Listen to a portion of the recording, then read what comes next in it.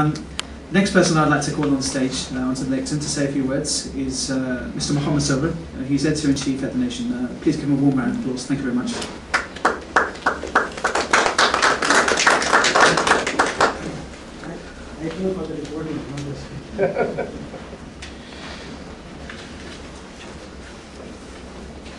Thank you very much.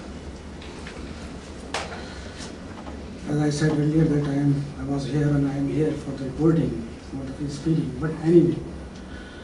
I have the privilege to have an interview with Jaswant Sahab twice when he was a foreign minister. And at that time, I found that he is the man of words, he is a man of the caliber. And in the turmoil situation of South Asia, we need a personality like him. But definitely, for his vision, clear and crystal vision, impartial vision, he will be punished and he was punished. When his book was launched, just after two days of the launch, he was expelled by its own party, BJP, which was established by himself and his other colleagues in 1980. There was a time when Jaswant Sahab was called Hanuman of the BJP, but now he is Ravan of the BJP only because of clarity in the words and the deeds. I was just uh, going through to my pages of my newspaper for the last six months, and Jaswant Sahab, we are reviewing your book in English and Urdu since it was launched in Delhi, and I wish that I would be given a chance to read a paper on 9th March, if it is possible. Then I will express my views. Today I am here to listen to you, to report in the newspapers, and you will see the coverage that we have done. So,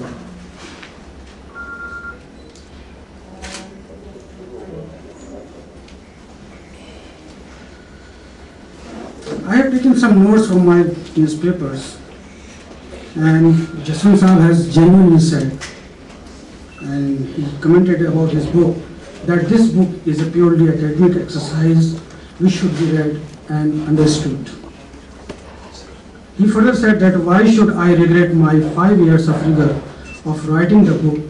The book is my reading of the painful period of the 1947 partition of India of history. And this is very strange that Mr. Jaswant Singh is, has been expelled from the party only because of he was saying that Jinnah was a straightforward person.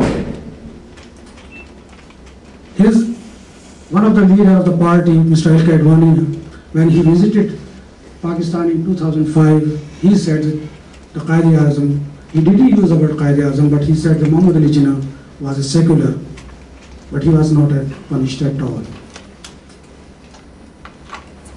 I was listening to Jaswant Sahab day before yesterday in House of Commons, and he was very eloquently describing the character the character which should be followed by other leaders as well, the character of Muhammad Ali Jinnah as a straightforward, very visionary, and he very genuinely said that Mr. Jinnah didn't want to create a partition, he wants a safe place for the Muslims in the greater Hindustan. If Muslims would have been given that place, I do believe there will be no existence of the Pakistan and that region would be a very vast region comprising the in Hindus, Muslims, Sikh, Isais and they would be living there without any fear, without any caution. But anyway, whatever has happened, it is a part of the history. Now, we should work for the peace, tranquility and better understanding. Pakistan is a reality India and Indian leadership should accept it. Likewise, Pakistan always said that India is a big brother, and I wish that India should act as a big brother. I will finish my speech If uh, the reason is because the time is very short, Jaswant Sahab has written a lot about the Muhammad Ali Jinnah. In one phrase, he says that his opposition, the Quaid-e-Azam Muhammad Ali Jinnah opposition was not against the Hindus or Hinduism, it was the Congress that he considered as the true political rival of the Muslim League. And the League he considered as being just an extension of himself. On many occasions, Jaswant Sahab has written and has admired the leadership of the Muhammad Ali Jinnah, which is a definitely a source of inspiration to all of us.